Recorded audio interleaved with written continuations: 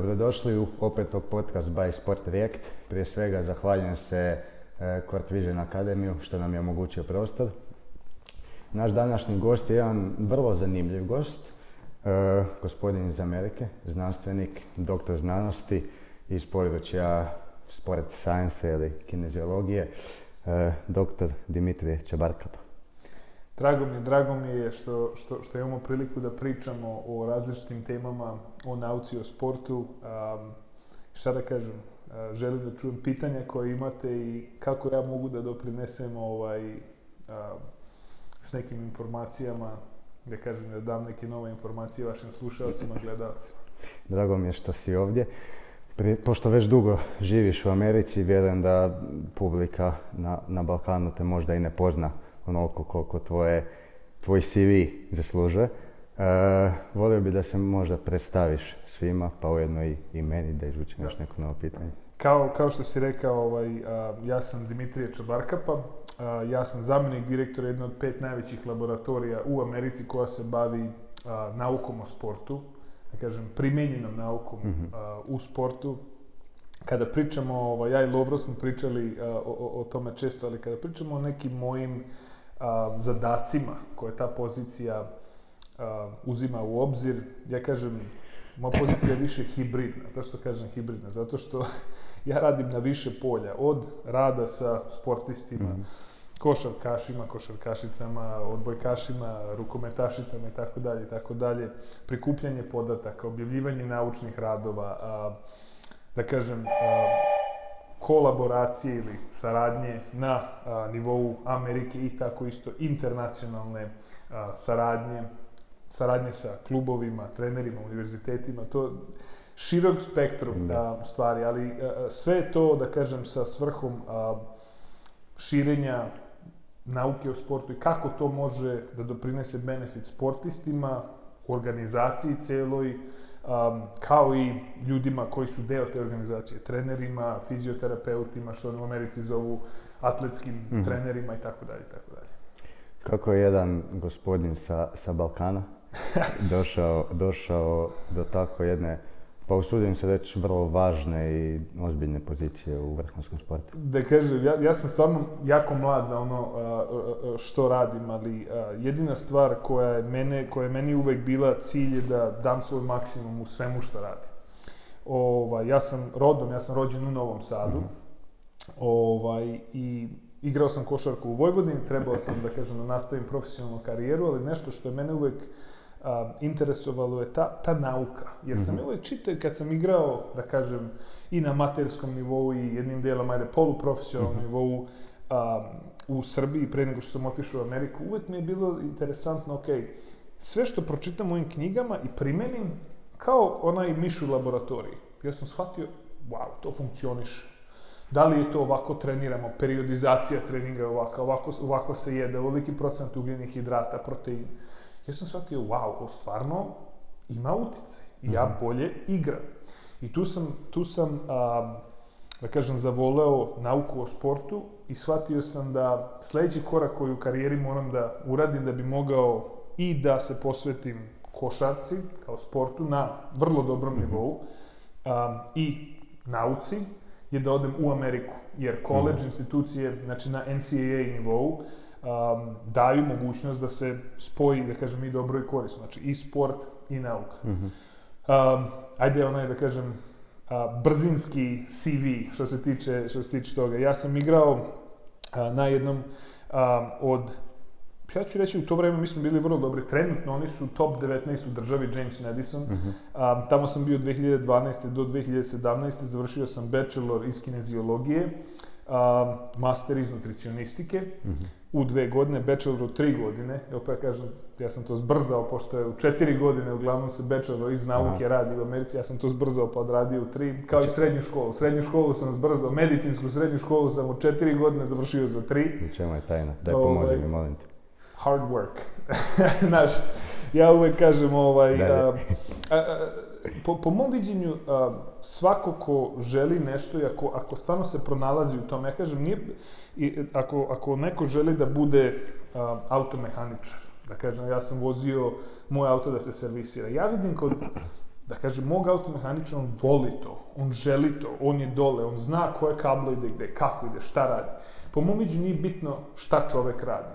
Ovaj, ja imam um, i dosta ljudi koji se bave različitim poslovima u svojoj karijeri. Ako neko hoće da bude fotograf, neko hoće da bude profesionalan fotograf, po mom viđenju, ako neko želi da postane to, treba da od, pod, da kažem, da određenu količinu vremena i da vidi kako može da bude najbolji u tom polju. Tako, to je mene uvek, da kažem, um, vozilo. u smislu gde sam ja hteo uh, da vidim kako mogu da budem najbolji u tome što radim. I to je ono kad se priča o sportskoj psihologiji, ima ego i task, onaj ego and task orientation, da kažem, to onaj task orijentacija, to nije ego da se porediš ne. sa drugim, nego u stvari task je kako možeš da budeš najbolja verzija sebe. I ovaj, uh, ja sam stvarno, ja, ja sam imao solidnu karijeru na diviziji 1, da kažem, jednom od poznatih koleđa uh, u Americi.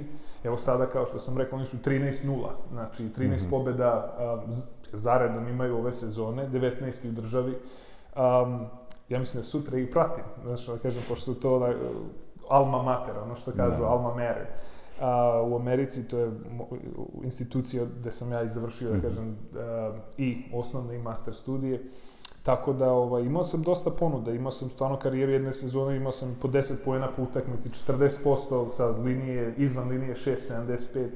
Ovaj, I jedina stvar je bila što kad sam završio master, imao sam dosta ponuda da igram profesionalno a, u Evropi. Na vrlo dobrom nivou. Ali u isto vreme imao sam jednu ljubav za nauku mm -hmm. i ponudu da radim na jednoj od bolnica koja, da kažem, istraživačkih bolnica, odeljenja koja pripada Harvardu kao istraživačkom centru Harvarda, što znači, evo, kaže Harvard Medical School. Mm -hmm. Ovaj, I onda sam shvatio da je to možda moja šansa da stvarno ono što sam naučio, da mogu da započnem svoju istraživačku karijeru i da sa svojim znanjem pomognem drugim ljudima da dođu do svog maksimalnog potencijala. Na, da kažem, tom istraživačkom centru bio sam godinu, godinu, skoro godinu i po dana, mm -hmm.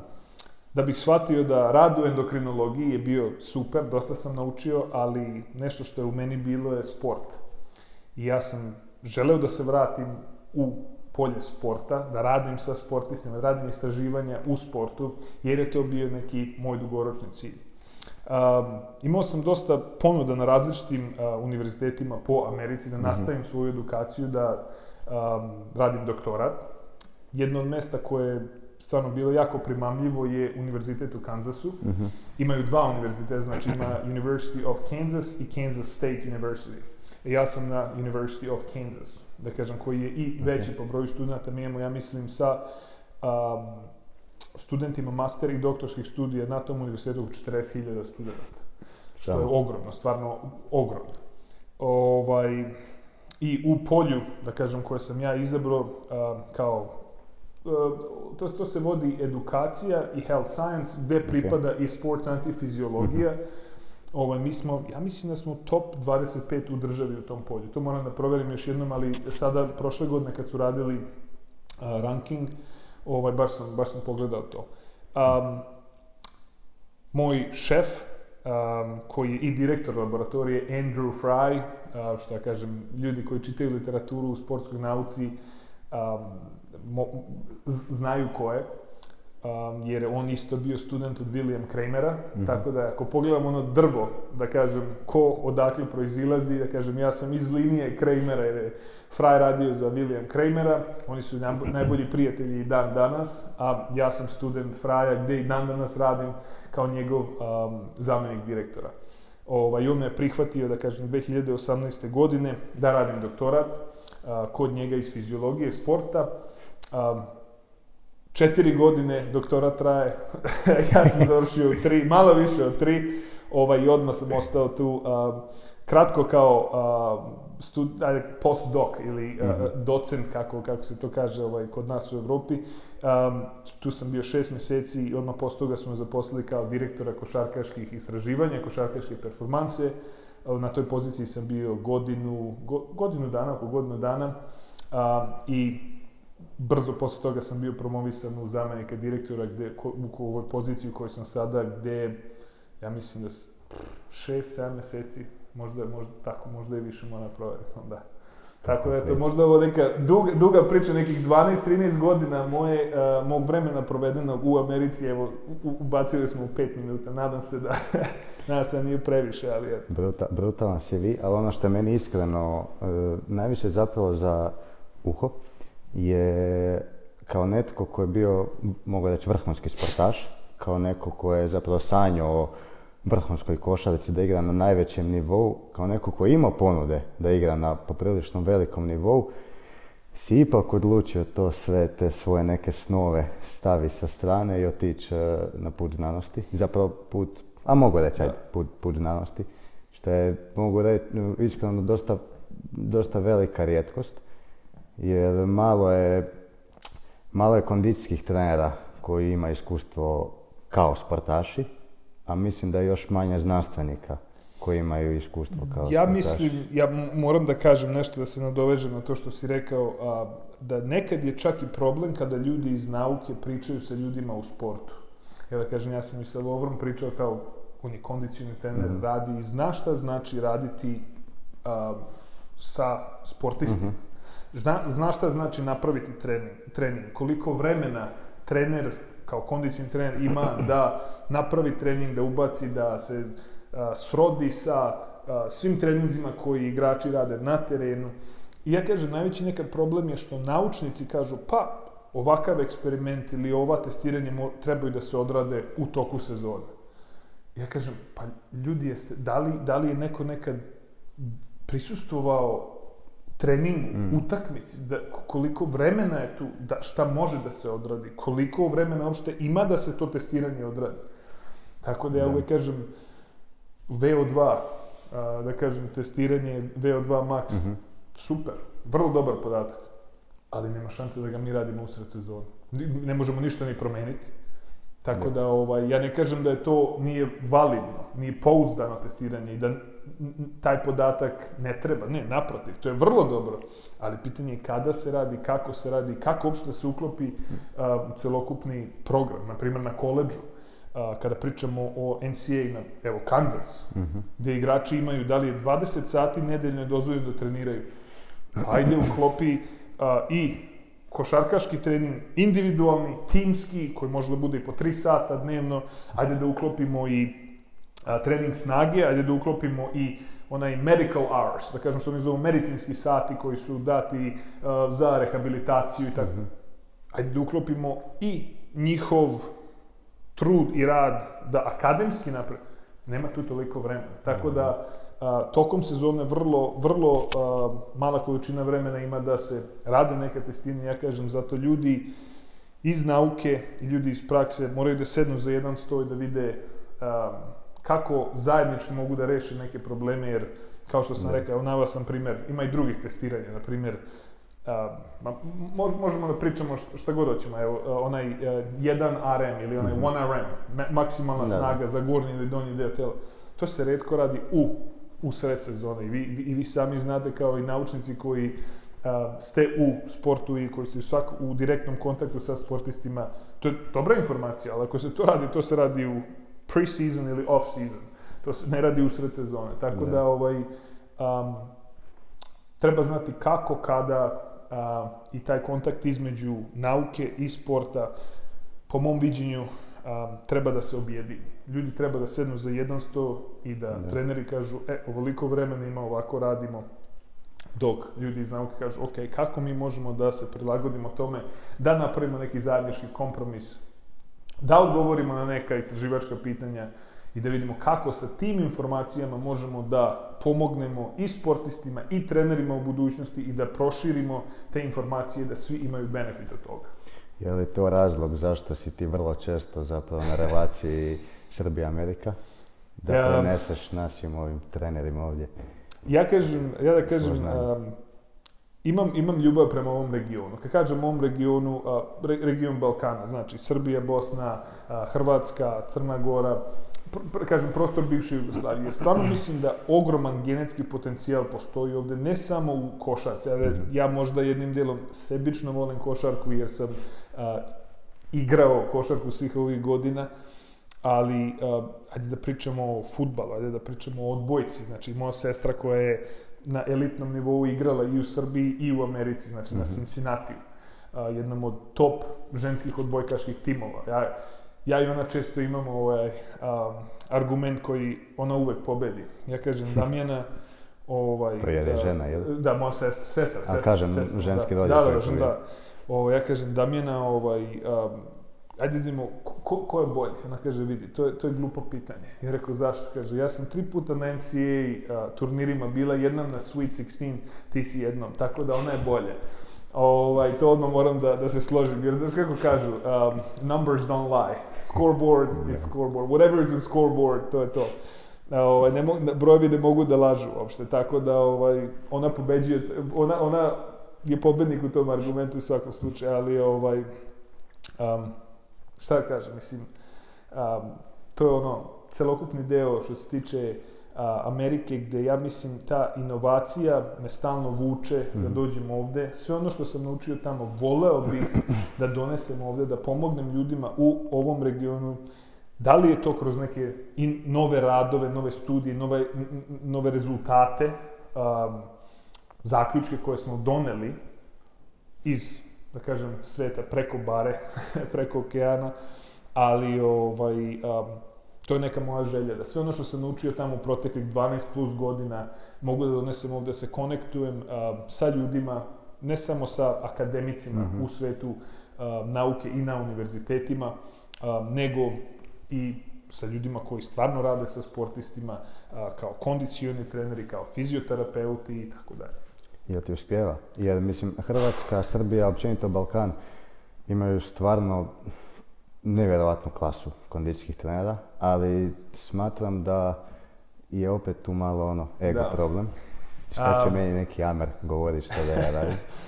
Um, ego, ego je deo toga. Ja da kažem, imam grupu ljudi stvarno sa kojima uh, super sarađujem, um, koji su uvek otvoreni za konverzaciju, Možda, gde možemo da razmenimo mišljenja. Uh, ja, ja uvek kažem, bilo šta da je to. Um, ja znam šta znam, i znam šta ne znam.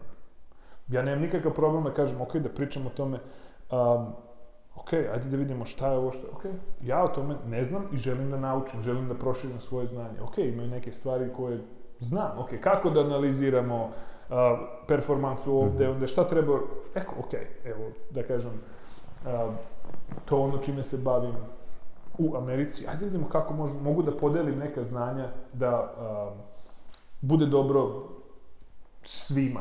Da kažem, da mogu i istraživanje iz tih podataka da se objave i da kroz te podatke može sportistima da se pomogne, da li je to smanjenje rizika povrede, mhm. napređenje performansa i tako dalje. Prije si ti sam spomenuo istraživanja i povezanost zapravo istraž... znanosti i prakse. Ono što mene zanima kao neko koji praktičar, zapravo igraš i na, bio sportaš, znaš šta je to, sad si sa one druge strane da. stola. E, kako izgleda zapravo jedno tvoje istraživanje? Jer mi imamo danas tisuće i tisuće i tisuće istraživanja koja mi možemo samo pročitati da se niko ne vrijedi, ali poderat papir i baciti, jer nemamo ništa od njega. E, mene zanima kako izgleda jedno tvoje istraživanje koje mi nakon što ga ti izbaciš, pročitamo i sutra možemo prenesti na teren? Uh, možda je najbolje odgovoriti na to pitanje sa jednim primerom. Uh, da kažem, studije koje je skoro objavljena. Ja ne znam da li ste čuli za NSCA, National mm -hmm. Strength and Conditioning Association, da, njihove knjige koje su objavljene human, od, human, od strane Human Kinetics, mm -hmm. o, da kažem, izda, izdavača, su prevođene na jezike, pa isto tako mislim i na srpski, hrvatski, i različite, mislim i na nemačkom verzija. Čak mislim da postoji na kineskom verzija, mm -hmm. jer imaju različita poglavlja, jer oni nisu samo u Americi, nego su bazirani um, i na različitim, da kažem, regijama u uh, svetu. Uh, oni su fundirali jednu studiju koju smo mi uh, sproveli na Univerzitetu u Kansasu u našoj laboratoriji, znači Jayhawk mm -hmm. Athletic Performance Lab, um, gde pitanje je bilo da li trening snage utiče na mehaniku šuta i efikasnost šuta. Ali, ajde da se vratimo, kako smo uopšte mi došli na ideju tu da imamo to pitanje? Mm -hmm. Pa baš tako što sam ja imao iskustvo da sam sedeo sa mojim uh, saigračima u uh, slačionici i pričali smo, dok jedan kaže, pa neću da, neću da uh, treniram, da kažem, gornji deo tela ili donji deo tela pre treninga, apsolutno će mi smanjiti efikasnost šuta. Dok imao sam jednog uh, saigrača iz Litvanije koji je rekao, ne, ne, ne, ja obožavam da treniram, to je super, meni to pojača šut. I sad kao, isti trening, ajde, isti trening individuali, in, in, onaj, mm -hmm. da bude specifično za istu osobu, tako? Ali sličan trening, a različite mišljenje. To, tu, tu sam prvi put to čuo. I onda kroz konverzacije sa trenerima, kondicijnim trenerima, različiti ljudi imaju različita mišljenja. Ali opet imam mi, ono što nauka pokušava da uradi, je da sa podacima, i opet da kažemo sa tim istraživanjima, skupimo podatke i objavimo to da bi imali objektivnu analizu mhm. toga i objektivan odgovor na to pitanje da li trening snage utiče, poboljšava ili smanjuje efikasnost šuta i biomehaniku. Brzinski ću, brzinski ću spomenuti a, rezultate tog istraživanja, mogu i poslati to, i mo, a, mo, jer je open access, a, mhm, ot, otvoreni artikal a, koji je objavljen u Frontiers in Sports and Active Living u sekciji Elite Athlete Performance, gde baš je to bilo, ja mislim, pre dva meseca je bilo, tako, tako nešto, ali, ali mogu poslati, možemo i prikačiti, da kažem, u, u, u linku gde ovaj, su sportisti koji već imaju košarkaško iskustvo, znači 4 plus godina igračkog iskustva košarke, a, i koji prisustuju treningu snage više od dve godine, dva do tri puta nedeljno, znači ne pričamo o nekome ko, a, koga smo doveli sa ulice, ko nikad nije bio mm -hmm. u mhm. teretani, nego pričamo o nekome ko ima iskustvo. Ovaj, radili smo na randomized control order mm -hmm. design, gde smo imali control grupu, a, grupu koja je radila gornji, a, trening snage za gornji deo tela, trening snage za donji deo tela. Ovaj, I onda praćeno je sa pet sekcija, da kažem, ili a, pet, kako da prevedemo, shooting drills, a, setova, pet setova, ovaj, a, teško mi je nekad da, da prevedem neke stvari. Ovaj, Mi smo internacionalni sa pet, da, sa, sa pet setova um, free throw, two point, mm -hmm. three point, znači slobodnih bacanja, 15 slobodnih bacanja, um, šuta sa linije 2 poena i izvan 6.75, znači linija 3 poena. Uh, suma svega je da mehanika šuta i posle treninga gornjeg dela tela, znači mm -hmm. treninga fokusiranog na gornji deo a, tela i donji deo tela, se samo menja po tim parametrima koje smo mi gledali a, oko 1%. Znači minimalan uticaj. Um, a ono što smo videli je da gornji deo tela utiče na smanjenje preciznosti šuta mm -hmm. sa linije da kažem, srednje distance, 2 poena i 3 poena, smanjeno je ako bilo oko 10%. E sad, taj uh, pad u efikasnosti šuta je samo bio prisutan u roku od 30 minuta. Mm -hmm. Posle toga, pošto smo mi gledali 30 minuta, 60 minuta, posle završetka treninga isto tako 120 minuta do 120 minuta, znači u, u, u, odma posle 30, 60, 90, 120 mm -hmm. minuta posle završetka treninga i gornjeg dela tela i donjeg dela tela. Tako da ovo, ono što smo videli je da je a, samo posle gornjeg treninga fokusirano na gornji deo tela smanjenje procenta šuta efikasnosti bilo oko 10%. Posle 30 minuta to je nestalo. Ako kondicioni trener, da kažem, gleda ovaj podcast ono što može da se izvuče iz ovoga je da ako mi odradimo onaj a, zagrevanje i imamo onaj partner shooting, da mm -hmm. kažem, a, ako ja i ti odemo i šutamo 10-15 minuta, tih 30 minuta je već prošlo.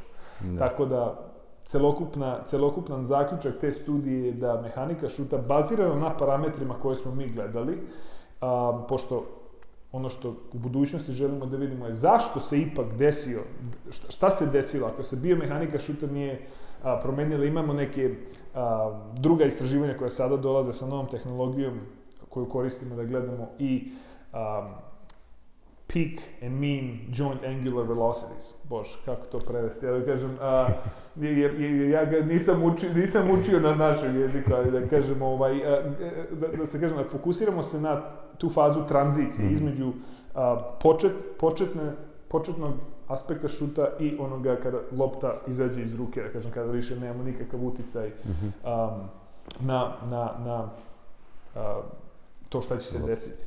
Ali ovaj, celokupna suma ove studije je da je minimalan uticaj treninga snage koji se radi pre, pre treninga na efikasnost i mehaniku šuta. Naravno, da li će a, rezultati biti drugačiji ako radimo 90% 1R, onaj 1RM, a, ili da li radimo 10 setova po 10 po na... Da, ja uvek kažem kada čitam studije, ja uvek volim da vidim šta su ljudi radili, sa kim su ljudi radili, da kažem... To ja mislim da najviše da. fali, oprošao te prekidam, uh, kritičko razmišljanje, po, pogotovo u ovoj struci, jer uh, puno je toga napisano, a nekada je zapravo premalo toga rečeno. Da. I mnogi znaju vidjeti to, uzeti zdravo za gotovo, ići primijeniti i napraviti da prosto sranje. ovaj, mislim da zapravo e, dost, mislim da je dosta teško u moru svih tih istraživanja pronaći ovako neka kvalitetna istraživanja. Pa kva, e, kvalitetna istraživanja, kažem, ono što, što može biti interesantno, što je interesantno nama, ne mora biti interesantno drugim ljudima. Ja sam ljubav prema nauci našao u tome da hoću da odgovorim ona pitanja za koje sam ja zainteresovan, za koje sam možda ja zainteresovan i za koji su ljudi u svetu sporta zainteresovani. To može da bude um, interesantno, da kažem, ljudima u sportu, zato što uh, to, to, to je svakodnevni problem sa kojim se oni susreću. Tako da, mo, moja motivacija za istraživanje uglavnom dolazi kroz konverzaciju i da kažem, više satne diskusije sa trenerima, ne samo mm -hmm. kondicionim trenerima, i sa trenerima, znači, specifičnog sporta, košarke, odbojke, rukometa, i tako dalje, tako dalje. Um, I sa ljudima iz nauke, u smislu kako možda to pitanje može da se odgovori. Mm -hmm. Tako da sam, ja, ja, ja kao neki most koji spaja obe strane, da. zato kako smo otvorili ovaj um, podcast, da kažem, intervju, je bilo da, da je moja pozicija jednim delom hibridna. E, zato da. je zove hibridna, zato što sam ja jednom nogom u svetu nauke, drugom nogom u svetu sporta. Tako da moram da balansiram obe strane a, i da vidim kako, kako možemo a, da spojimo i jedno i, do, i, i drugo, da, da napravimo i dobro i korisno, a, da bude da win-win situacija da. na obe strane. Da. Koliko si istraživanja već do sada sprovao? Ja mislim, juče je bio 64. artikl koji je izašao a, s, sa mnom kao prvim autorom ili koautorom. A, to je u periodu od, ja mislim, četiri godine. Da, četiri godine. Što je intenzivno. je možeš li izdvojiti od tih 60 i koliko da. istraživanja to jedno na koje si najponosniji? Jedan, uh, da, svi, svi, svi, su, svi su mi, e, svaki, svaki papir e, ili naučno istraživanje mi je drago na svoj način. Um, ali ima jedno koje stvarno onako uh, volim da, da, da, da izdvojim, možda zato što je jedno od prvih istraživanja koje je bilo fokusirano uh, na košarkašku performansu. I uglavnom ljudi stalno pričaju da li je trening snage, evo sad da se nadovežem na ovo što sam rekao, bitan za košarkaš. I to je, ne, ne, ne, ne smeš da postaneš veći, teži, mm. hiper... Rekao, imam dosta igrača koji, znači, sama hipertrofija i da izgledam veći i da dobijem masu, to, to, to nije poenta treninga, zavisi kakav se trening radi.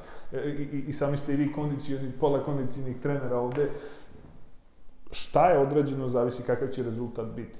Postoji nešto što se zove fiziologija. Da, tako. Da, da, Ali ovaj, što mi uvek hoć, hoćemo da kažemo, možda je pogotovo čak i u ovom regionu, trening snage i odma donosi neku negativnu konotaciju. Odma, odma nešto, aha, da li je to isto tako je bilo za kreatin?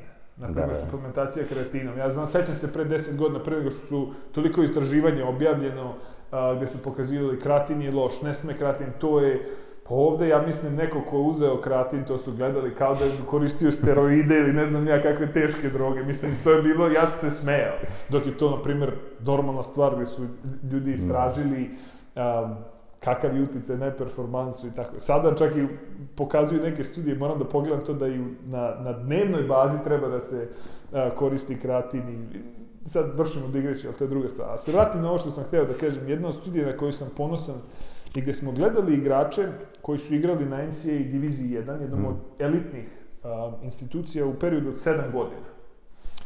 I hteli smo da vidimo, u stvari, koliko je snaga i sila, koliko su bitne na njihov, njihov, njihovu mogućnost da igraju na većem nivou. Mm -hmm. 37 sportista, što iskreno rečeno je veliki broj ako pričamo o nekim elitnim koleđ košarkašima. A, gledali smo u periodu od 7 godina, znači igrači koji su završili košarkašku karijeru posle 4 godine, nisu igrali profesionalno, igrači koji su igrali mhm. profesionalno na nivoima kao Euroliga, ABA liga i tako dalje koji nisu igrali u NBA-u i igrači koji su igrali u NBA-u. Okay. I ono što je što se jasno vidi na tim podacima je da oni da da da sila i snaga su karakter veća sila i veća snaga ili mogućnost da taj igrač proizvede veću silu i veću snagu su bile karakteristike onih igrača koji su imali mogućnost da igraju na višim nivoima. Tako to je to je to je jedno od a, prvih istraživanja a, koje, koje sam objavio, mislim, 2019. do 2020. godine um, i onda lavina drugih ideja je došla. Da li uh, snaga uh, utiče na efikasnost šuta, čak i pre neke druge stvari gde studija, evo sad ću se dovezati na ovo što sam rekao, ma jedna od studija za koje me svi stalno pitaju, kaže, pa ti si opovrgao sebe u prethodnim studijama. Ja rekao, kako to mislim? Gde pokazuje uh, korelaciju mm -hmm. uh, između, ili vezu, kako god hoćemo da prevedemo, između um, maksimalne snage donjeg i gornjeg mm -hmm. dela tela, znači onaj 1 RM, 1 RM, um, i efikasnosti šuta, znači sa slobodnog bacanja, 2 poena i 3 poena, gde mi nismo našli značajnu korelaciju. I ljudi kažu, pa evo, ovo povrže sve što si rekao. Ja rekao, ne. Oni kao, pa kako? Pa pogledajte koga smo, koga smo u stvari ko su bili subjekti, ko su bili ispitanici u ovoj studiji. To su bili igrači koji um, su konstantno bili deo uh, treninga snage, Znači, dve, tri, četiri godine su imali istorije treninga snage, po dva, tri puta nedeljno su bili u teretani, mm -hmm. radili trening snage, što znači ti igrači su verovatno imali ono što je potrebno da održe i da dođu do te određene efikasnosti šuta. Pitanje, da li dalji iskoraci, u smislu da li um, dalji napredak u treningu snage i sile, ve, ve, da kažem po magnitudi, kapacite, da li to može da doprinese poboljšanju efikasnosti? To, to je pitanje. Ali ono što ova studija je pokazala, tu nije bilo značajne korelacije između efikasnosti šuta i maksimalne mm -hmm. snage, znači u smislu 1RM za donji deo tela i gornji deo tela. Ali to ne opovrže da trening snage nije bitan, nego kaže da kad se pogledaju samo brojevi, ja uvek volim da to pogledam, ko su bili ispitanici, kada pogledamo ko, ko, koje, koje su magnitude, onaj mean and standard deviation tih brojeva, vidi se da one padaju, znači one e, normative mm -hmm. ili mhm. standarde za tu specifičnu grupu, grupu ljudi. Što znači, oni su verovatno već imali nivo snage, adekvatne snage, potreban za to. Šut, svi znamo, nije samo baziran na snazi, nego to je i uh, skill, kako oni kažu, uh, vrlo, vrlo kompleksan uh, pokret, tako da imaju drugi faktori koji utiču na to, ali ta studija apsolutno ne um, nije kontradiktorna sa onim što je uh, bilo objavljeno pre, nego u stvari pokazuje da snaga je jedan deo onoga što je potrebno da košarkaš ili košarkašica mogu da dosegnu taj optimalan nivo performancije i efikasnosti šuta. Mislim da je ono ključno pitanje u, u našoj struci e, zašto? Zašto, zašto to nešto radim? ono što mene zanima, sam si prije spomenuo ta istraživanja, neka, da neka možemo raditi u sezoni, neka ne možemo. E, koje istraživanja si ti provodio u sezoni i zašto? I kako je zapravo to utjecalo na mm, ekipu, na, na igrače, na rezultat? Je li utjecalo? Ja e, podržavam u toku sezone. Ako mhm. pričamo u toku sezone, to je, e, to je vrlo bitno da se napomene. Jer ono što možda se radi u a, periodu, da kažem, ono, a, a, pre nego što igrači stvarno počnu da treniraju intenzivno, to, tu ima više vremena. Mm -hmm. Tu nema utakmica, onaj, e, intervali za odmor su drugačiji, to, da, to, to može dosta više stvari da se radi. Ali ako se stvarno fokusiramo na tokom sezone, ja uvek kažem, bilo, bilo kakva vrsta podataka da se prikuplja kažem, bilo kakva nauka da se sprovodi a, u toku sezone mora da bude non-invazivno mm -hmm. a, i mora da bude efikasno. Ako moje testiranje uzima treneru 15-20 minuta po igraču, to apsolutno nema, ne, nema nikakvog smisla da se primeni u sezoni. Druga stvar, ja sam radio istraživanje na platformama gde smo mi signale, one mm -hmm. ground reaction force curves, uh, kako prevedem, si, si, ne da kažem, signale sa krive, ne. od skoka, znači sile, gde smo mi bukvalno analizirali na računaru da ja analiziram jednog uh, igrača, meni treba pola sata. Ako smo mm. testirali tim, recimo 20 ljudi, pff, koliko, koliko vremena, da kažem, samo ode na to, a treneru trebaju informacije ne danas, nego juče da bi napravio modifikaciju, ali to je, ali to je živa istina. Ne. E to je ono što, da kažem, nekad je i problem između nauke i sporta. Jer nauka kaže, moramo da gledamo ovo, moramo da gledamo ovo, treba će nam toliko vremena. Pa prikupili smo podatke, ako ja te podatke ne mogu da obradim i da ako si ti kondicioni trener, da ti dam mm. u roku od 15 minuta, pa šta ćemo onda sa tim podacima? Ja mogu objavljivati istraživanje, nikakav problem. To je, ne, ne. Biće, biće benefit od toga. Ali onaj direktni benefit tebi kao treneru koji radi sa tim igračima mora da bude instantan. Zato kažem, ima i dosta kompanija koje se a, bave tim softverskim a, rešenjima, a, nisam, da ne, ne podržavam i ne reklamiram ovde nijednu kompaniju, uh, Hawking Dynamics, ima Vald u smislu ForceDex, mm -hmm. na primjer ti sistemi, uh, to su slična tehnologija koja se radi za te force plates ili te geometrijske platforme, tako? Ali šta oni nude je brzinska analiza, je softver koji može brzinski da analizira. Ako smo sad odradili taj counter movement jump, testiranje, da kažem, uh, skoka, da možemo odmah da vidimo kompletnu analizu uh, force, force time, bože, uh, metrika mhm. skoka tokom koncentrične i ekcentrične faze skoka. Tako da ako ja nisam u mogućnosti da efikasno i u tom malom vremenskom periodu dam te informacije a, treneru u toku sezone, onda to testiranje možda ne treba da se sprovodi. Ja kažem, sad pričao sam o ovim tenzimetrijskim platformama. Na primjer, ako imamo tim od 15-20 igrača, kroz zagrevanje, svako može jednom nedeljno da dođe, ok, radimo, na primjer, dinamičko zagrevanje, um, igrači su tu na terenu, ok, a samo izvedemo igrača, tri skoka, ok, idemo dalje, oni prođu, svaki igrač, ja mislim da po 15 sekundi, što mi, mi smo gotovi za 15-20 minuta. Da. Istina, to, to je kompletan per, per, period koji može da se odvoji, koji nije invazivan.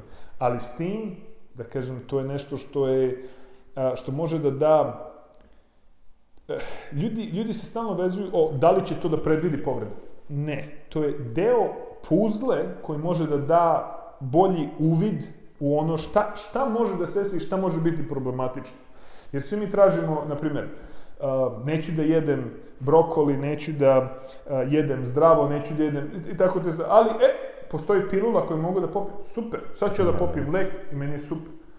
Pa čekaj, čekaj, čekaj, ajde da vidimo, ima više stvari koje mogu da utiču na to, znači, po mom viđenju, to je kao puzla, ja stalno pričam o tome, to je jedan deo te velike puzle, svi traže ono instantno rešenje, mm. kao što sam analogija sa lekom Ajde da vidimo u stvari kako ta celokupna puzla izgleda. Tako da mislim da jedno od neinvazivnih um, testiranja koje može da se primeni u toku sezone uh, skok na tenziometrijskim platformama. I ako je adekvatno odrađeno, ako je adekvatna motivacija tu i ako su adekvatne instrukcije tu, stvarno može da pokaže uh, varijacije kroz uh, sezonu, znači u toj neuromišićnoj uh, performanci. Ono što smo mi našli, sada je da opet vršim malu digresiju, um, je da ekcentrična faza uglavnom um, više, više pokazuje neke promene tokom sezone nego mm -hmm. koncentrična uh, faza. Da. Ja kažem, ta testiranja u Americi su kao pranje zuba. To je, svako, to, to je na svak, svakodnevnom nivou nekad se i radi. Um, Pratim ja jednog trenera, mislim da Joe Bergles, se zove. Sam, e, sam. On radi u, srednjoj školi da. i njemu je platforma dolje na podu stalno tretani i skače. Ovdje u srednjoj školi nisu čuli za pa, platformu za mjerenje sila. Ali to su, da kažem, ne mora da bude platforma koja košta ne znam nekoliko hiljada dolara. Imaju različite, po mom viđenju, klubovi koji su stvarno investirani i žele napredak igrača, to je ma, mala investicija za takve stvari, ali opet, a, džaba to da ja tebi kažem da je to bitno ako ti ne znaš da je to bitno, mm. ako ti ne znaš kako možeš te podatke da iskoristiš. To je ono što Lovro i mene poprilično muči, jer dosta često, zapravo svaki dan pričamo o, o struci i uspoređujemo nekako, aj mi smo u Hrvatskoj, pa uspoređujemo nekako Hrvatsku i Ameriku.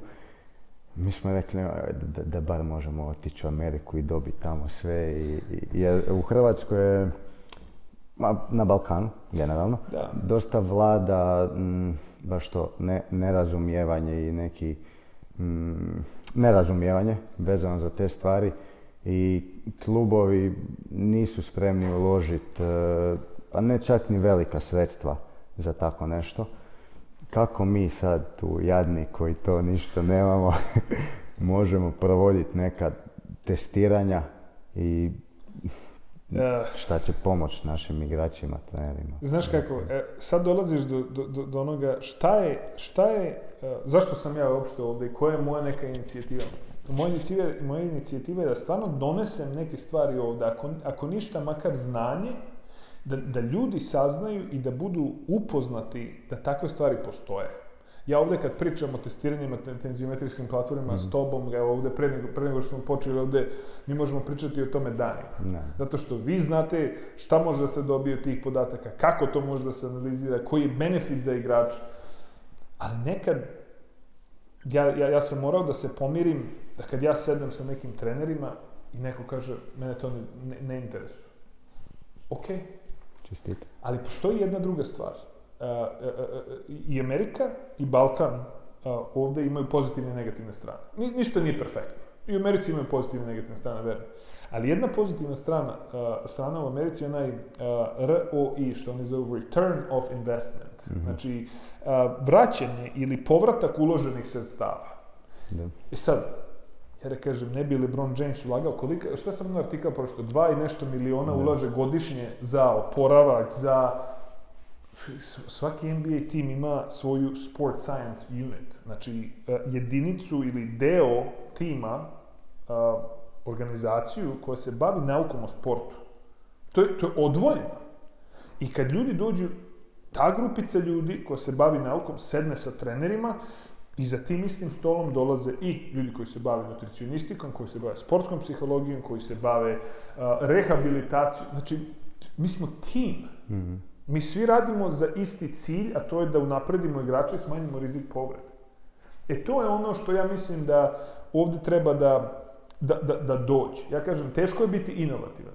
Ja, možda 20% ljudi dođe i bude zainteresovano za ono što ja pričam, ali super, sada je 20, ja se nadam bit će 22 sledeće godine, 28 a, a, dve godine posle, tak, jer Tamo to već postoji. Ja kad dođem, čak i u nekim zemljama u Evropi, ljudi, ljudi su otvoreni, otvoreni da čuju i već masovno primenjuju. Mislim, pričanje ovde, šta je bilo onaj sistem, opet, uh, nemam nikakve, nikakve povezanosti sa kompanijom, ali mislim da je ok sistem da se uh, gleda na external load ili mm -hmm. stres, kako možemo uh, da, da, da prevedemo to, Kinexon, na primjer, tokom utakmice imao, znači, u smislu, kak, koji je taj stres kojom su ti igrači izloženi tokom treninga? I opet, neka moja najveća vizija, ajde da pogledamo kako sve to možemo da stavimo na još veći nivo. Znamo šta je trening, ali i sami znate ono što se desi u treningu nekad i nije na nivou utakmice.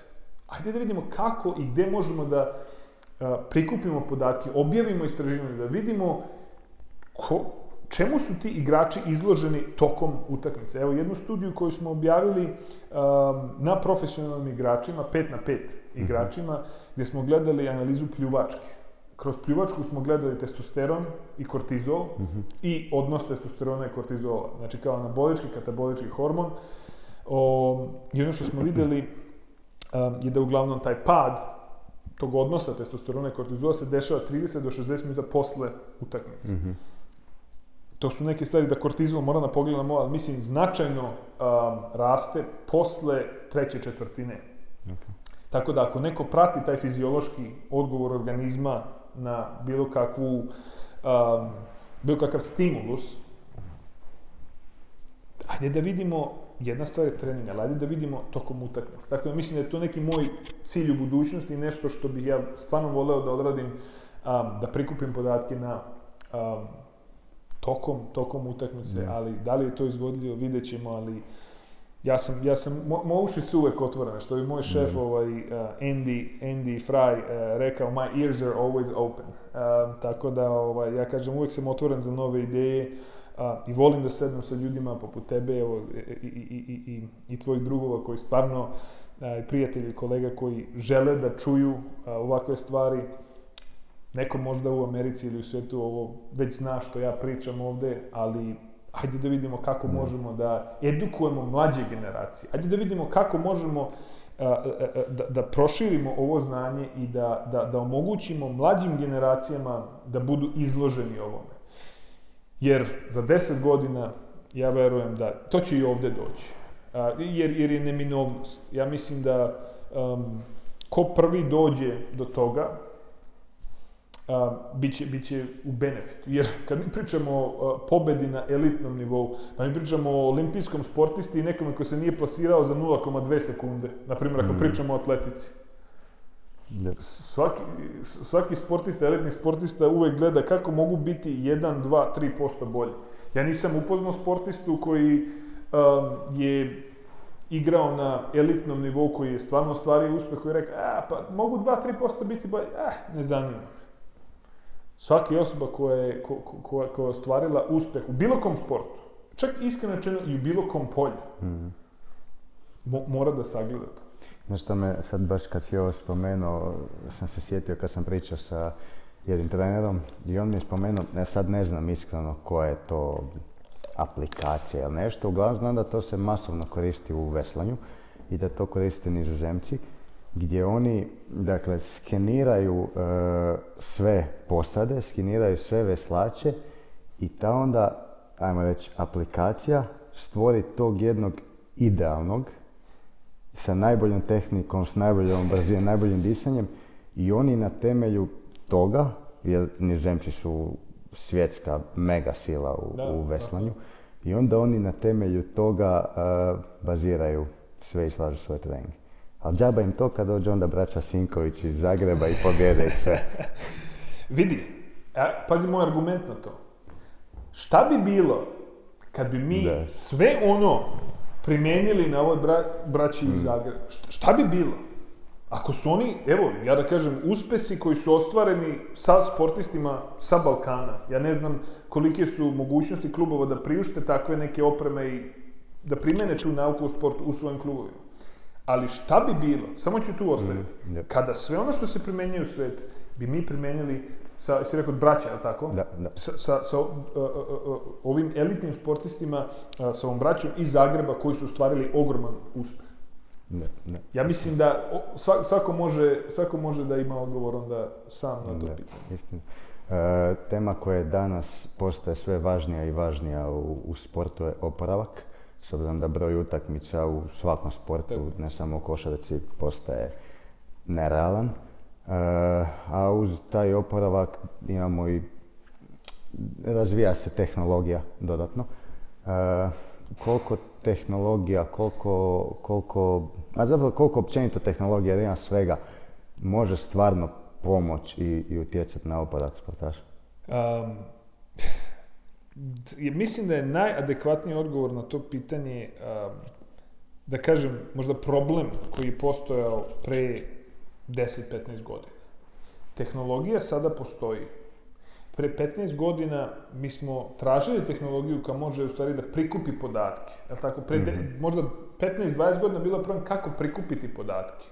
Sada to nije problem. Sada imamo tehnologiju koja prikuplja podatke. Ali pitanje je koje, da li su ti podaci validni, da li su ti podaci pouzdani, u stvari tačni. Mm. Da li možemo objektivno izvršiti analizu nečije performanse, adekvatno, bazirano na tim podacima?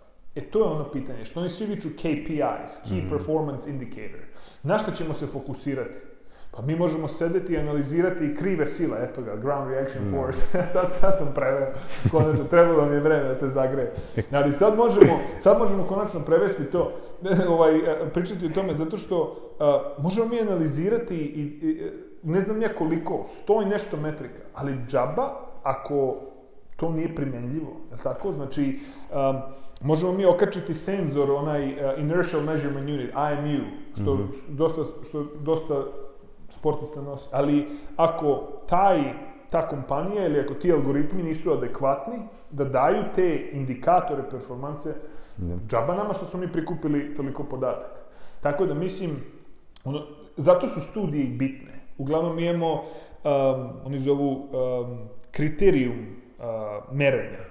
Znači, ako, se, ako nešto novo izađe što je inovativno, što treba da zameni nešto, znači, neki, neki uređaj koji, evo, na primjer, ako pričamo o inovativnim platformama, mm -hmm. tenzimetrijskim platformama koje mogu biti, koje mogu da se nose svuda, a, čak i neke nove tehnologije koje postoje da se ubacuju takvi slični uređaji u uložak od cipela, mm -hmm. da mhm. može da se gleda. Sada se radi na trodimenzionalno, znači u x, y, z mm -hmm. osi, ali postoje uniaksijalne, znači u jednoj osi koji mogu da mere silu, mm -hmm. ali ovaj, ako je taj novi uređaj, recimo nešto fancy, što je super, što se proizvodi, možda prikupi podatke, ok, ajde prvo da vidimo i da ispitamo da li su ti podaci u um, pore, adekvatni i da li su validni i pouzdani u poređenju sa standardom kao tenzimetrijska platforma u laboratoriji koja daje na 1000 Hz, ok, adekvatne podatke što se koristila godinama i godinama i godinama za analizu. Tako da, po mom viđenju, ja volim tehnologiju, ja obožavam tehnologiju i sam nosim uh, o, o, sve, sve ove stvari. Ja sam upoznao sam čoveka na Stanford konferenciji, ja sam prezentovao na Stanfordu pre, kada je to bila, uh, možda, možda pola godine, tako. Mm -hmm. Ovo, I čovek je došao, imao je četiri sata, imao je one, kako se zove, ima onaj drugi uređaj što meri san, što se stavi. Vup. E, e, vup, i onda imao je i ovo, prsten imao je tri na jednu tri. Ja ga gledam, prva stvar, čovjek, zaboravio sam ime kako se zove, ali on je stvarno, ne da je objavljen, nego čovjek je masovno poznat. Ne. Ja sam se ovako smijao, sam rekao, ja bi ovog čovjeka prepoznao da je naučnik i da voli što radi ovako tri kilometra kad bi ga vide, ali, a, ajde, ja koristim to kao primjer. Možda ne. taj čovjek stvarno hoće da napravi studije, da ispita na samom sebi, jer ima ljubav prema tome, i želju da vidi da li te inovativne tehnologije se podudaraju a, sa onim što meri.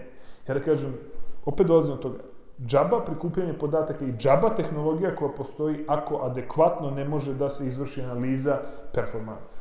Drago mi je što si to rekao, je to konstantno ističe profesor Luka Milanović, koji je kondicijski trener Hrvatske nogometne reprezentacije, oko uho brojka sve, sve je to super, ali jer zna se masu puta desi da ono igrač dođe e, na trening i mi pogledamo kvalitetu sna, ona je loša. A, evo, iskreno meni se to dešavalo, ja sam nosio VUP dosta vremena i e, probudim se ujutro, ja se probudim top, pogledam na njega, kvaliteta sna koja nisam ni spao. Da. Dođem na trening, sve super. Da. Sve super. Bez obzira na, na, na na brojku. Zna, znaš šta, interesantno je da kažeš to, a, po mom viđenju sad dolazimo do one moje metafore što sam imao kao za pilulu, lek, mm -hmm. svako hoće akutno rešenje, svako hoće sad da uzme i da odmah reši problem. Znači sad ću ja da uzmem to, e, to je to. Neću da menjam ishranu, neću da menjam način vežbanja, ne. da bi smanjio rezistenciju insulina, ne, nebitno, ne ulazim u te stvari. Ali svako će to akutno rešenje. E, po mom viđenju, snaga podataka i snaga nauke je u količini, magnitudi podataka. Mm -hmm. Jednom kad skočite na tenziometrijskim platformama, da, ja mogu da, ka, mogu da vidim neke stvari.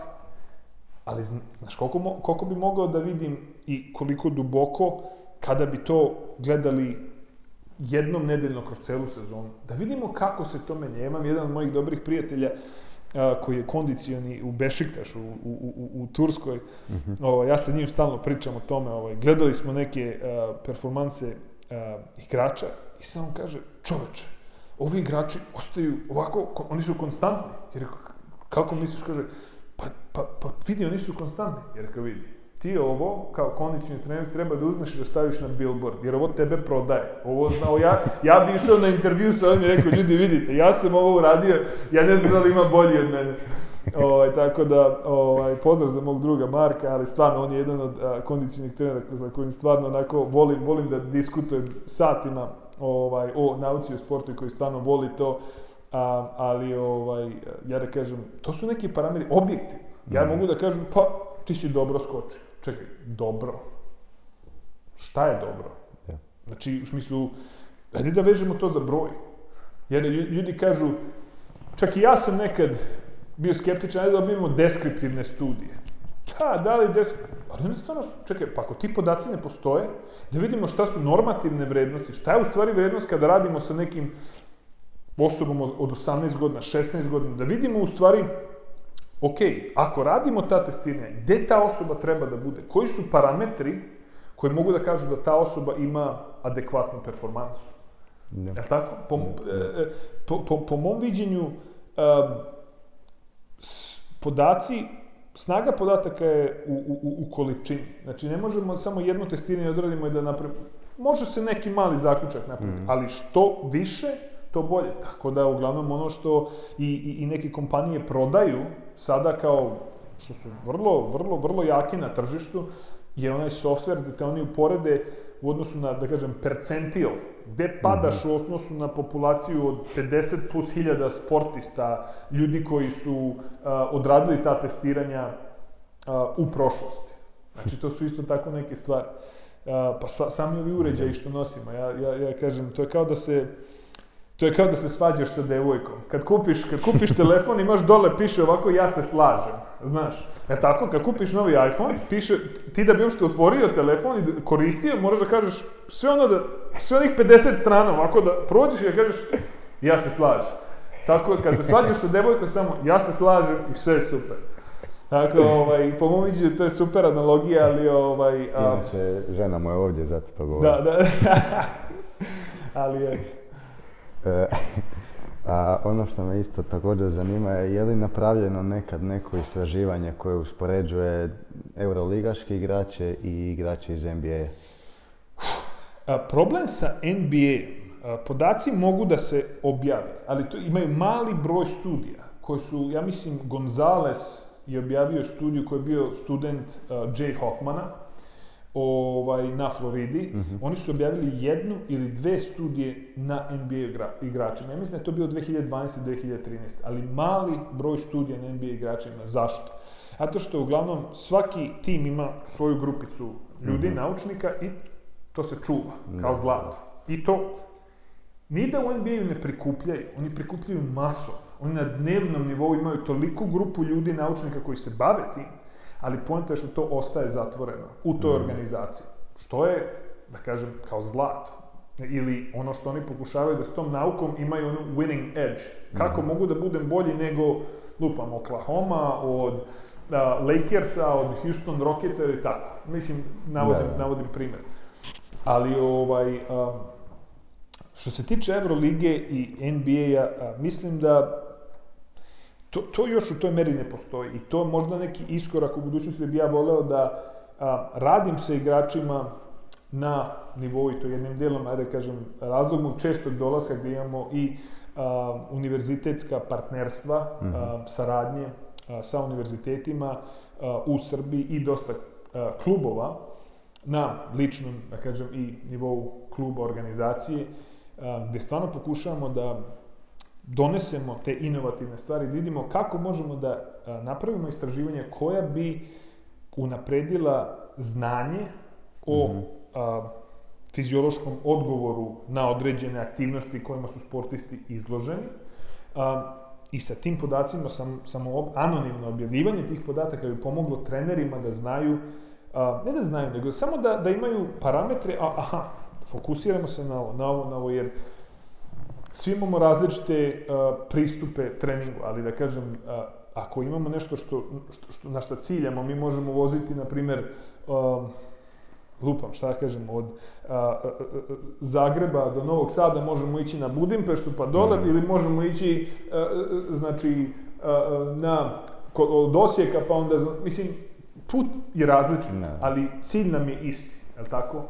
Tako da po mom nekom viđenju ti podaci i ono što bi mogli da odgovorimo je što, što bliže toj elitnoj performanciji, ako je NBA cilj, Zato kažem, nema toliko podataka iz NBA, ali kad bi moglo da se uradi dosta istraživanja, da se pomogne i timovima, ali ovaj da, da se objave podaci na nivou koji je najbliži um, tom elitnom ili top um, nivou igre košarkaške, to bi bilo, to bi bilo super.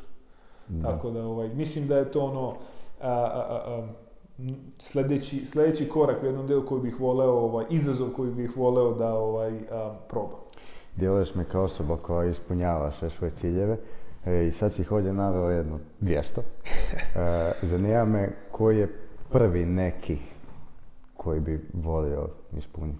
Um, Ajde da se, za što istraživanja, evo da kažemo, Može. da se nadovežem na ono što sam pre rekao, a, studija koja je objavljena prevo dva meseca je bila uticaj a, treninga snage na mehaniku i efikasnost šuta. Ono što sada želim da vidim je kako uh, zamor, znači fizički zamor, utiče na mehaniku mm -hmm. i um, efikasnost šuta. Naravno, znamo da će efikasnost ići dole, ali to je nešto hipoteza, ali šta će se desiti sa bio, biomehaničkim da, da, da. parametrima?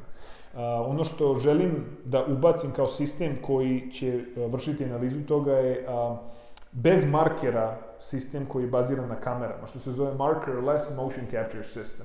Znači imaju, pre su ljudi stavljali one markere, pa onda pratili. Mm -hmm. Ja sam imao, desilo se ovo, ja kažem, a, opet dolazimo do efikasnosti. I da li je to primenljivo a, tokom sezone? Evo, na primjer, analiza, ona funkcionalna analiza pokreta, bazična analiza pokreta.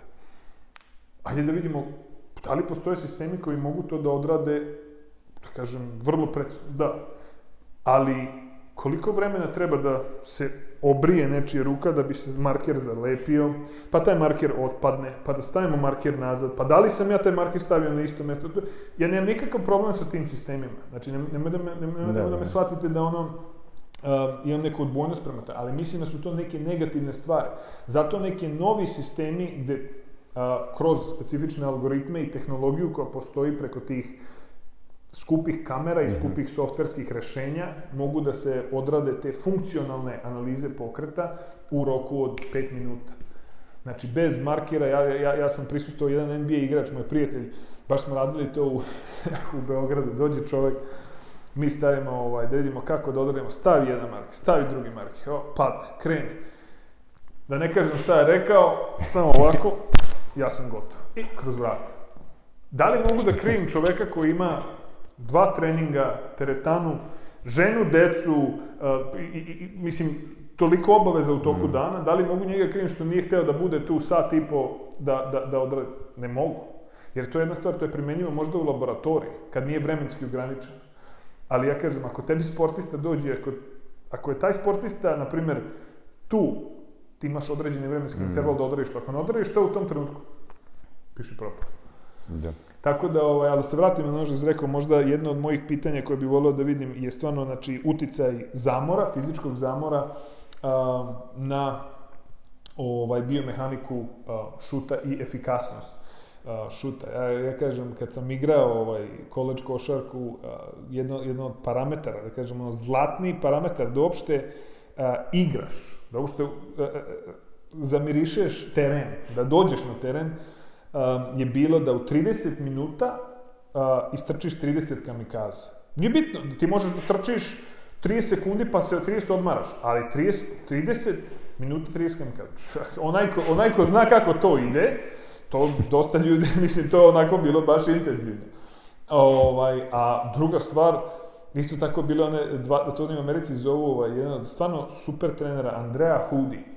Uh, ona je bila na Kansasu, stvarno nje sam dosta naučio, uh, nekad, nekad je kao i mentor meni mm. bila u smislu da vidim, aha, šta se radi, kako se radi. I uvek sam pitao zašto ona takav pristup ima tamo, ona je sad na Yukonu, -hmm. bila je na Texasu pa je na Yukonu, stvarno jedan um, od, od super kondicionih trenera kojih znam, um, gdje ona je 20 dvojke radila. Naprimjer, uh, gore, dole, gore, dole, š, dužinu terena u 22 mm -hmm. sekunde.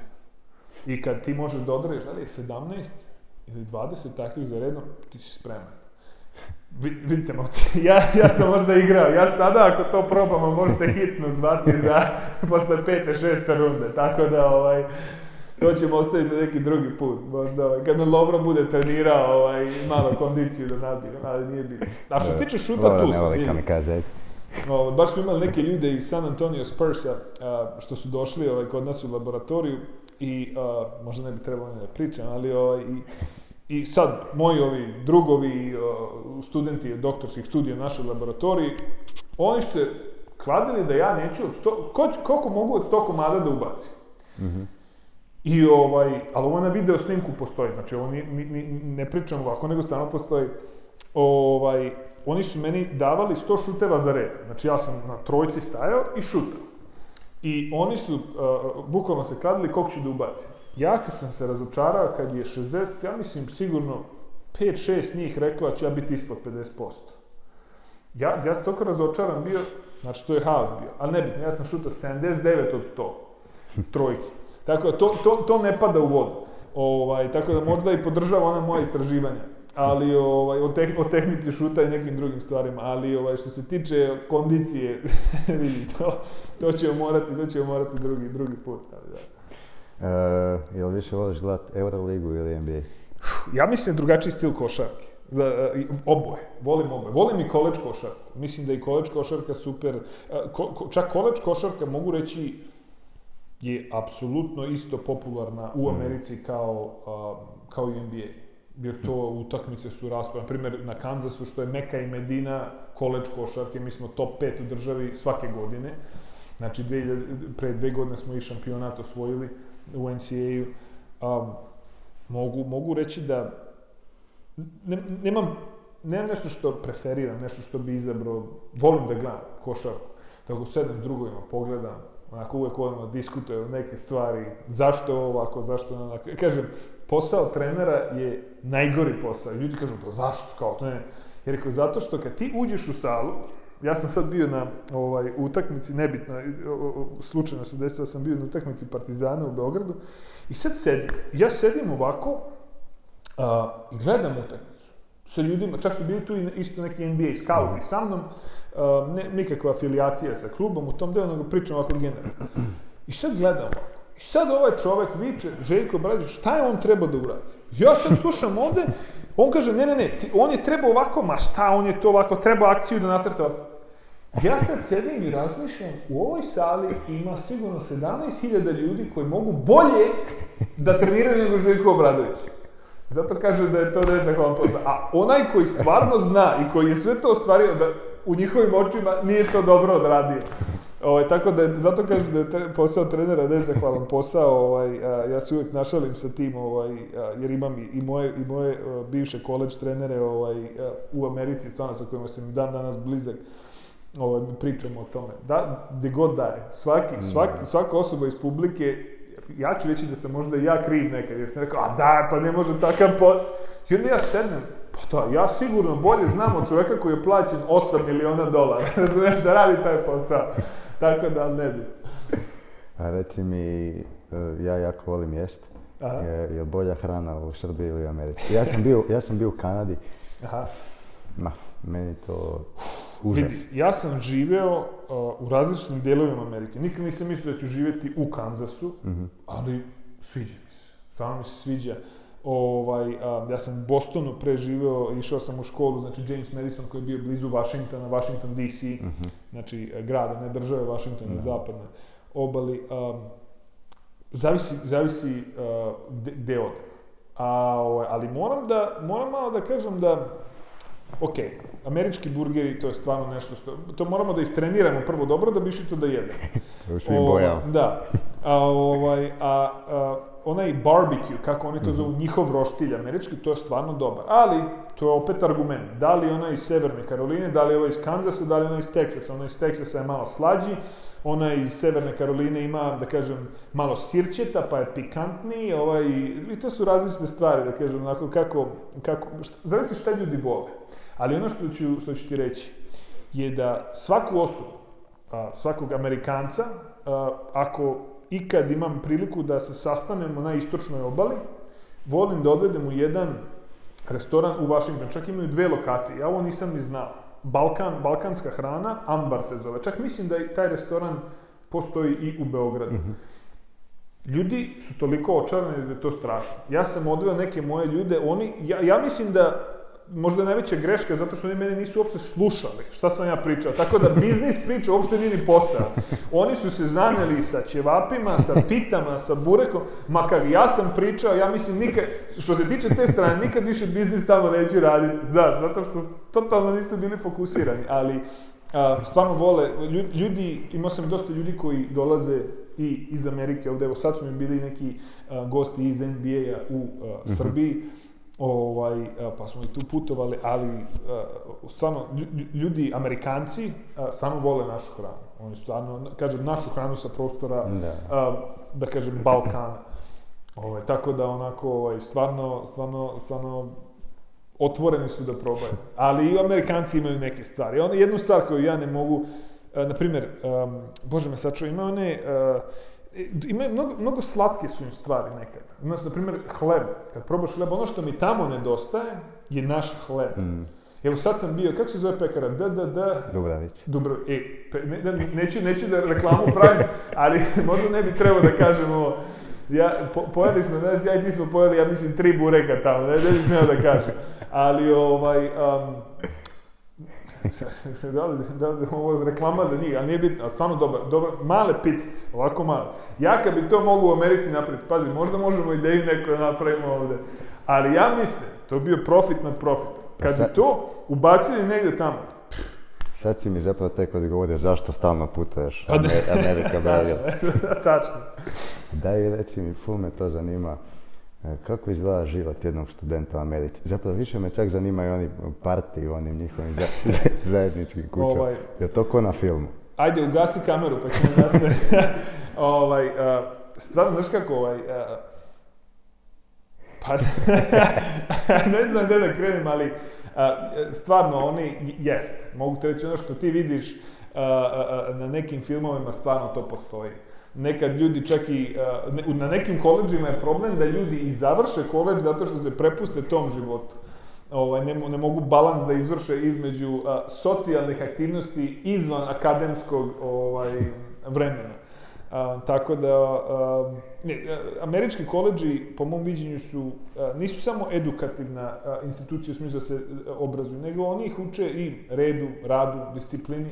To nema je, zaboravio sam, si nisi, nisi poslao ovaj assignment, gotovo, kraj, nula, izvoli, dalje. Ne, ja, nikad ovde, pa daj, produžimo rok, pa nema. Pa po mom viđenju, to isto tako, ako radimo biznis, imamo ugovor, imaš do kraja januara da završiš, 31. januar je tu, jesi uradio, Mm. nisi, hvala, doviđenja. I mislim da su to neke stvari, čak um, u Americi oni i na koleđ, kao osnovne studije, gledaju više kao, ok, elementarna edukacija, u smislu da neko može da radi u spektrumu sa ljudima, da je ovo odgovoran, da je ovo... Zato možda i sportisti koji idu na koleđi imaju možda veću prohodnost, zato što ljudi vole da ih zaposle u Americi, jer treba ustati svako jutro u 5 sati, biti u 6 na treningu, jesti i tako dalje, i tako dalje. To je, ja volim red, rad i disciplinu. Ovaj, neko se nekad Nisam ljuti što ja kažem u 6 mora da se krene, neko dođe u 6 i 15 i onda ja samo mogu da sedim. I opet, I opet dolazim do onog iPhone-a, mogu samo da kažem I agree, ja se slažem, ali nema veze. Ovaj, ali, e, su, stvarno, što se tiče toga, opet kažem, i ovde i tamo imaju pozitivne e, e, strane. Zavisi isto gde se ide u koleđ. Da li, se, da li je koleđ kao koleđ u odvojenom gradiću, da li je u gradu. Um, ja kažem, za, sve zavisi gde osoba ode. I na koji ljudi kažu, pa ja igram na ovom nivou. Pa koji je to nivo? Da li, da li je taj nivo bolji od ovoga ovde? Da li je edukacija bolje? Mislim da su to sve faktori koji treba da se uh, uzmu u obzir. Otići, ok, i, i to treba uraditi. Ali ako neko ode, ajde da vidimo gde je ta osoba otišla, da li ta osoba može da studira ono što želi da studira, da li je na instituciji koja je reputabilna, Tako da, mislim da su to sve faktori koji mogu da se uzmu. A što se tiče života u Americi, ti college parties, kako se zove onaj Project X, se zove onaj film, nešto je, tako se zove, odgledaj film pa, pa dođi da me posjetiš, ali šanac. Um, A možda i ne. E, jedno pitanje za kraj, malo dublje, pa slobodno daj vremena koliko hoćeš, to pitamo svih, pa, pa ću ja tebe. E, po čemu bi Dimitri jednog dana volio ostati zapamćen? Um, po trudu, radu, redu i disciplini. Ja uh, jako verujem u rad uh, i uh, u bilo, bilo čemu. Ako neko hoće da bude profesionalan, profesionalni fotograf, ako neko hoće da bude profesionalni košarkaš, ako neko hoće da bude uh, naučnik, bi, bilo koju profesiju, daj sve od sebe. Po mom viđenju to je, i, i slušaj ono što je u tebi. To, po mom, e, nije, nije to samo da budem dobar u toj profesiji. Ne, to je, to je nešto što se aplicira na celokupan život. Ja, opet kažem, verujem u trud, a, red, rad i disciplinu. Jer svaki, svaki igrač, evo se vratimo na sport, nije postao igrač preko noći. Neko mm. kaže, opa, o, videli smo sad ovu osobu, ona je sad ovde došla i dala 20 poena. Pa super. A tih 20 poena je pr pre toga, pre tih 20 poena ima 5, 6, 7 godina treninga, rada, um, sekiracije i svega što u, u, ulazi u to da bi se taj, da kažem, ishod ostvario. Tako da ovaj, ljudi kažu, pa ti si napisao pet strana, evo, naučni rad, ok, pa šta to, dan jedan. Hmm. Da. ja rekao, iza, iza toga što sam napisao je 50-60 artikala pročitanih, a, nedelje prikupljanja podataka, nedelje analize, a, pisanja i tako dalje. Tako da, po mu, to, to, to je uh, ono što je u Americi kažem hard work. Uh, daj sve od sebe, šta god da radiš i uh, pusti, pusti da život, život pokaže gde možeš da ideš. Ali to je ono po čemu ja želim da budem upaćen, upamćen gde god, gde god da sam um, i da sam dao sve od sebe. Da, da, da, da sam radio najbolje u onoj mogućnosti koju ja mogu da radim. Tako da mislim da je to ovaj mislim da je to nešto što opet ne, ne, ne aplicira se samo na sport nego na drugi segment. Hvala ti puno. Hvala vama na na na na na gostoprimstvu. Uh, gostoprimstvu, tako je, na gostoprimstvu. Uh, I eto, lepo opet biti u Zagrebu. Uh, videti sve i ići u pekaru, ovaj, kako se zove? Dubravić. E, tako, tako. Bilo mi je veliko zadovoljstvo, odgovorio si na, na sva moja pitanja. Vjerujem da su i naši gledatelji dobili na odgovor na mnoga pitanja. Hvala vam svima koji ste gledali. Tebi Dimitri još jednom hvala na, na dolasku i prenesenom znanju. E, vidimo sljedeći put i šerajte, lajkajte, komentirajte i vrijeđajte. Pa se čujemo. Bok!